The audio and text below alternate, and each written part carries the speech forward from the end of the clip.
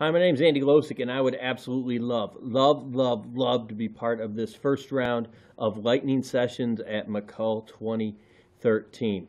Here is the message that I want to deliver.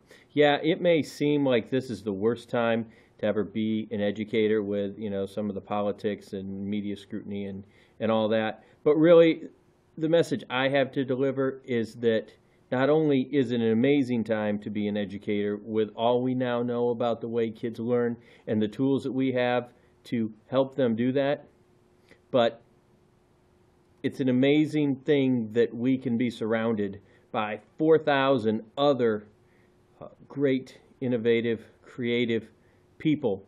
And that no matter how bad things may seem to get an education or where they may go, the future is only going to be as awesome as we all make it together. There's not a better place to find your future building partners than those people sitting around you in the keynote at MACUL and for the next few days. The great thing that I can tell them is that in 2005, when I first came to MACUL, I was like every first year attendee. I sat in the back, I didn't talk to anybody, I filled notebooks with notes, and that was it.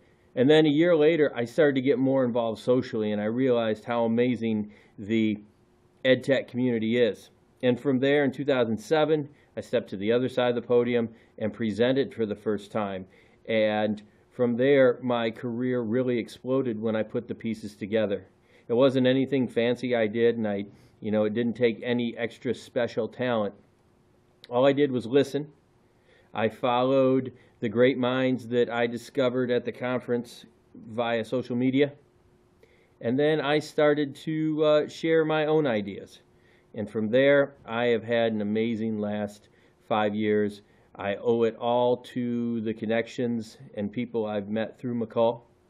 And I just want to uh, get people excited, bring a lot of enthusiasm to that session, and really send people out of that room fired up to make the most of their couple of days away from school, making connections, and really building for the future. So I'm Andy Losik, and I would love to give one of these first lightning sessions.